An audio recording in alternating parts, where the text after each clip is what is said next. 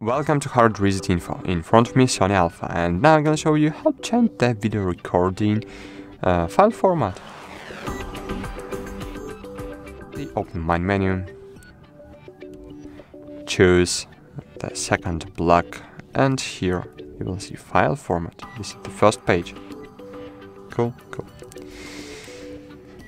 and here we have three file formats. XAVC-S 4K, so it records in 4K resolution with XAVC uh, S codec, so which provide the high quality video with relatively small file sizes.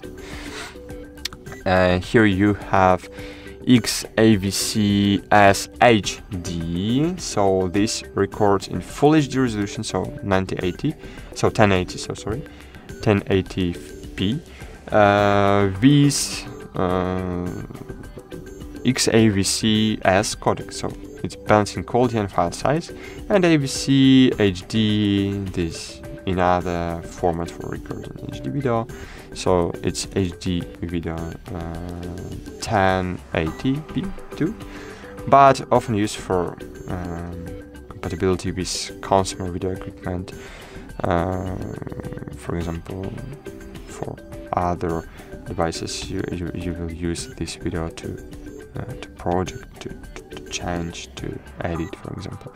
If you have old device it's a very good idea to enable this feature. And that's it. Thanks for watching. Like this video and bye